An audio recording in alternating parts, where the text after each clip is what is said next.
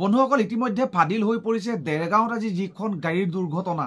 যিটো দুৰ্ঘটনাত পোন্ধৰজনতকৈ অধিক মানুহ মৃত্যু হোৱাৰ আশংকা দেখিবলৈ পোৱা গৈছে। যথেষ্ট এটা ভয়ংকৰ দুৰ্ঘটনা যথেষ্ট এটা দুখজনক এটা বিষয় যথেষ্ট এটা পৰিতাপৰ এটা বিষয় বুলি ক'ব লাগিব। কিয়নো হঠাতে এনেকুৱা ধৰণৰ ঘটনা এটা হ'ব বুলি কেতিয়াও ভবা নাছিলে। হয়তো তেওঁলোকে পিকনিক খাবৰ বাবে যিটো ওলাই গৈছিল যথেষ্ট মনত আনন্দ ফূৰ্তি কৰি গৈ আছিল চাগে।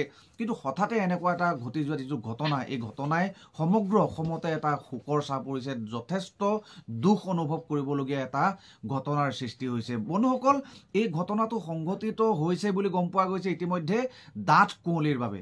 ডাঠ কুঁৱলীৰ বাবে এনেকুৱা ধৰণৰ ঘটনা সংঘটিত হ'ল। ড্ৰাইভাৰজনে হয়তো মুখত কিবা এটা আহি আছে নাই অহা মানে স্পষ্টকৈ দেখিবলৈ পোৱা নাছিল ৰাস্তাটো আচলতে।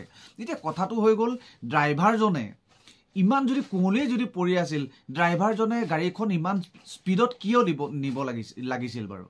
স্পীডত বুলি মই এইটো কাৰণে কৈছোঁ বন্ধুসকল দুইখন গাড়ীৰ মুখামুখি সংঘৰ্ষ হৈছে। তাৰ ফলত পোন্ধৰজনকৈ পোন্ধৰজনতকৈ অধিক মানুহৰ মৃত্যু হৈছে বুলি গম পোৱা গৈছে। তেতিয়াহ'লে নিশ্চয় তীব্ৰবেগী হ'ব লাগিব।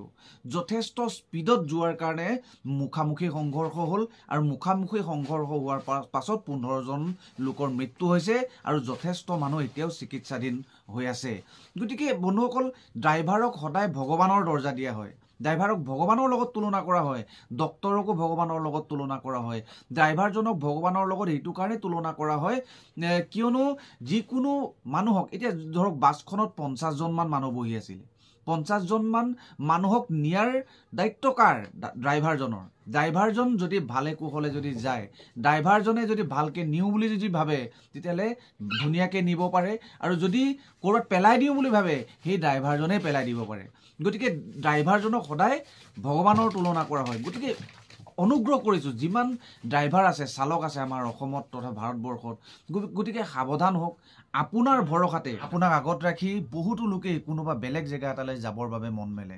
গতিকে আপোনাৰ লগত বহুতো পৰিয়াল জড়িত আছে আপোনাৰ লগত যথেষ্ট আশা জড়িত আছে ভৰসা জড়িত আছে আপোনাকতো কিয়নো চালকসকলক কিয়নো ভগৱানৰ লগত তুলনা কৰা হয়। গতিকে তেওঁলোকৰ যি ভৰসা চালকসকলক ভগৱান হিচাপে ভবা যিটো বিশ্বাস এই বিশ্বাসটো চালকসকলে ভৱিষ্যতলৈকে অটুট ৰাখিব বুলি ভাবিছোঁ। আৰু বাহনৰ ভিতৰত থকা পেচেঞ্জাৰসকলক বেলেগ অচিনাকি পেচেঞ্জাৰ বুলি নাভাবি নিজৰে একো একোজন পৰিয়ালৰ একো একোজন সদস্য বুলি ভাবিব বুলি আশা কৰিছোঁ। ইতিমধ্যে অসমৰ মুখ্যমন্ত্ৰী ডক্টৰ হিমন্ত বিশ্ব শৰ্মা ডাঙৰীয়াই এটা এছ অ' পি জাৰি কৰিছে যে কুঁৱলী শেষ নোহোৱালৈকে গাড়ী ওলাব নোৱাৰিব আৰু কুঁৱলী হোৱাৰ আগমুহূৰ্ততে গাড়ীৰ গন্তব্য স্থানত পাই যাবগৈ লাগিব। তেনেকুৱা এখন এছ অ' পি জাৰি কৰিছে।